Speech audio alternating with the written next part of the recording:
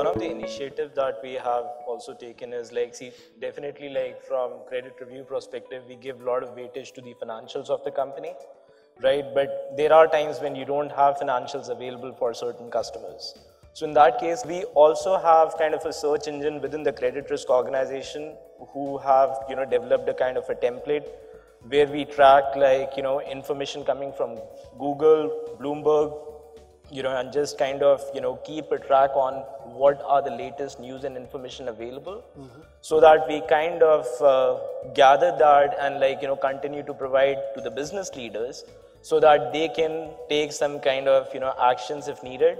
And obviously, like, as I said, like, you know, it's important that you keep looking at your credit utilization versus your credit limits uh, and like you know how the customer pay habits have been based on that like you know take decisions considering like you know if there's some news coming to you like you know there could be a cash flow issues with the customer or something so those kind of elements we use in parallel you know just just to mitigate those risks mm-hmm. one of the thing what we also do is we have a country baseline term right so we also look into like for specific countries like what is the best possible term that you can give it to a customer. That's one thing.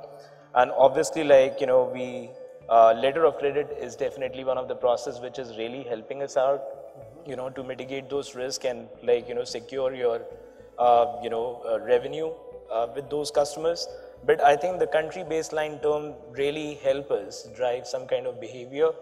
And in addition to that, we also have ETR process where like, you know, extended term request so what, what we do with that is like, let's say if there's a, you know, request which is coming from sales or anybody like, you know, that they want to extend that uh, customer with additional terms or something, uh, we, we keep a track on that. And there's an initiative what Tony is involved in where there's a lot of pressure, like not many ETR needs to be approved.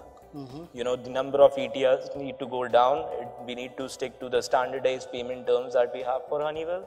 So I think that model has really helped us a lot. In, in order to mitigate risk, we want to always cover our what we call our economic cost. Uh, we have both products businesses, but we also have project-based businesses. And what we've done there is we've required our project-based businesses to get uh, advances from our customers. And we've targeted certain businesses to get a 20% advance or a 30% advance, just so we're covering, we're always covering our economic cost as, a, as a way to protect ourselves.